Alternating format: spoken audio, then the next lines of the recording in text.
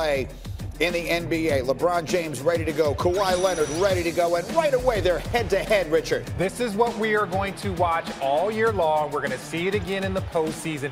These guys going head to head, and I love it because neither of them shy away from it. Lakers were really good in the first quarter. Kawhi was ridiculously good in the second. Team defense. Anthony Davis has to be over there. Danny Green's going to be in a full denial. You got to know that that weak side help is going to be there. Kawhi shot seven of eight in the second quarter alone. Then the Lakers on the fast break. LeBron throwing it down. Yeah, business decision. Look at that. Look, that man is 47 years old, still running and jumping like that. Good for you, big fella. Lou Williams doesn't want any part of it, but in the end, it was too much of that guy. Kawhi Leonard getting it done. He would score 30. The Clippers would get 60 off their bench. LeBron would score 18. Steve Ballmer loves it as his Clippers win 112 102. And so the debut of LeBron and Anthony Davis was going well until the fourth quarter. The duo had 41 combined points in the first three, but ended up with a grand total of just two in the final quarter. We'll talk about it as we continue. Meanwhile, it wasn't the only game of the night last night. The defending champion Raptors got their rings and raised their banner, and they were taking on the Pelicans, who, of course, are playing without Zion Williamson for the first six to eight weeks of the season. Second quarter, Pelicans, they do have Lonzo Ball, and he's got a nice dish. They do. Lonzo Ball makes people around him better, and he's doing this without their best player in Zion Williamson. So I think Zion, I think uh, Lonzo is going to have a solid year. Yeah, the Pelicans, if Zion gets healthy, are going to be really good. Meanwhile, fourth quarter in a good game, Pascal Siakam just got the big deal, and boy, did he put up big numbers. 34 points, 18 rebounds, but he would foul out, and the game would go to overtime. And in the overtime, it was their postseason hero, Fred Van VanVleet. Fred Van VanVleet. This was what everybody was excited about last year, and he started showing it again in the postseason. Just timely shots, timely plays, and a clutch, clutch player. He knocked down 34. He knocked down five threes, and the Raptors get the win, 130 to 122. So for at least one night, we can say no Kawhi, no problem, because Siakam was enormous. He becomes just the second player in Raptors history with 30 points, 15 boards, and five assists in a game. Vince Carter, the only other one to do it. But as we mentioned, the Pelicans play this game without Zion Williamson, who became the topic of a lot of conversation yesterday when the general manager of the Pelicans, David Griffin, took umbrage to some things he thinks he's hearing. Here's what he said. The notion that this happened somehow because Zion's in poor condition is just asinine. He wasn't in poor condition when he went 12 of 13 against Utah, right? It's not that's not what it is. He's just a very unique body type.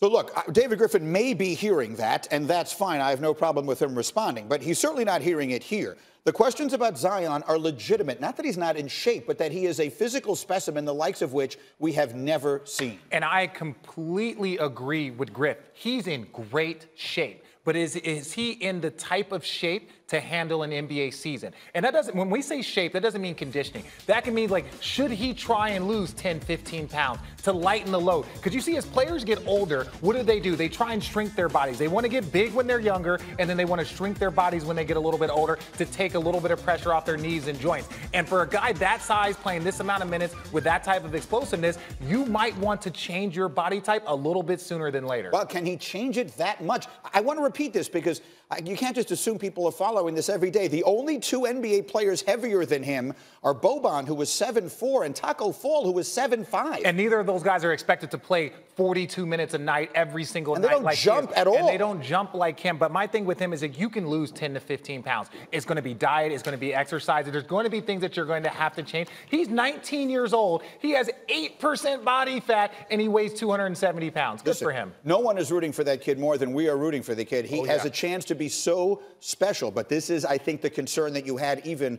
before the draft. Meanwhile, our coverage of the NBA on ESPN will begin tonight. We'll talk about that after we talk about this. Dak Prescott and the Cowboys trounced the Eagles Sunday night, taking control of the NFC East. You know that Domonique Foxworth is the president of Dak's fan club. Here's a look at Neek defending Dak last week.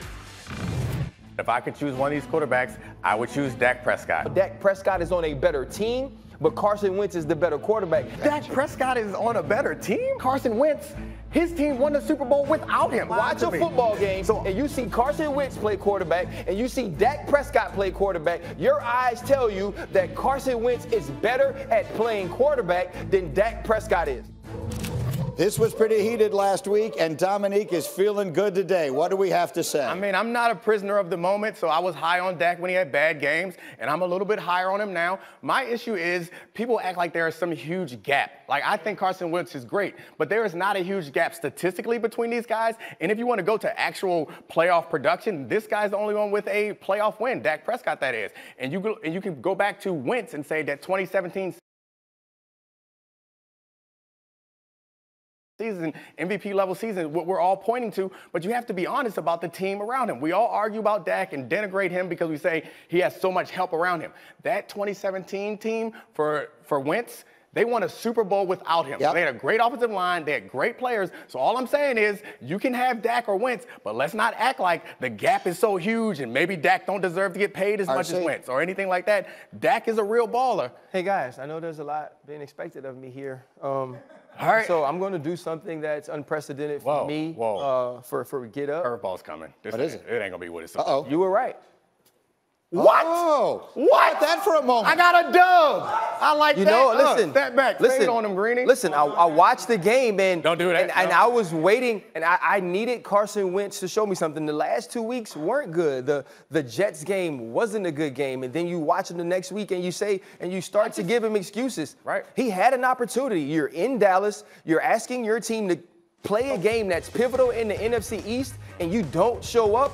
Sometimes things fall Right, apart I- around you. Oh. I, I look at Carson Wentz. I said, okay, I look at the MVP apart, right. season or the probable MVP season, album. and I want to see him come out of that and say, you know what, I'm going to lift you up. I'm going to show you some of that Nick Foles stuff along with this talent that makes me and that makes this team better. And I didn't see it. And so, for as much as I want to, this is not about Dak as much to me as what I'm seeing from Carson Wentz recently and what I saw when you needed him the most. He didn't get to play in that Super Bowl. Right? He wore a sweatshirt. He had an opportunity here to put Wait. his team atop. it. Okay. He didn't do it. I, I have to just throw something into this conversation, though. And I, I, you said earlier on this show that the Eagles needed to make a move at corner because the average quarterback puts up better numbers than Patrick Mahomes against them. That's the defense Dak Prescott just did this to Right. on Sunday night. Doesn't that factor into this somewhere? It absolutely factors into it. I'm just my argument is not necessarily, and I think Dak is great. He's a franchise quarterback. I just want us to measure them on the same scale. We asked I- we asked Dak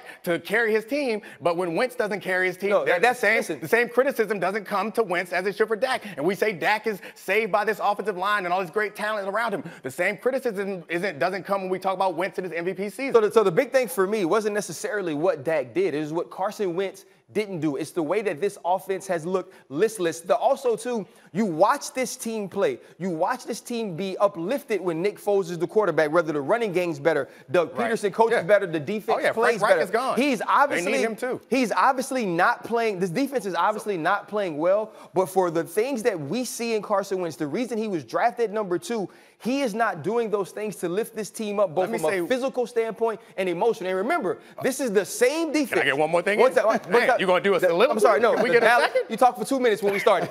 the Dallas Cowboys are the team that actually made us believe that Sam Darnold was good, and you said he was better than Dak Prescott. Right, That I was was not better was than Sammy Fuller. Davis So Jr.. My thing is, Final during, thought. during the three games that they lost, Dak Prescott and that offense was moving the ball. They were amongst the best in the league. The difference was the defense stood up, and that gives Dak Prescott, Prescott a short field. Meanwhile, Jerry Jones said something interesting this morning that we're going to get for you coming up next here uh, because I think it's very significant. It's not about the quarterback, it's about the coach. But speaking of quarterbacks, we'll also get to this. Aaron Rodgers' historic performance.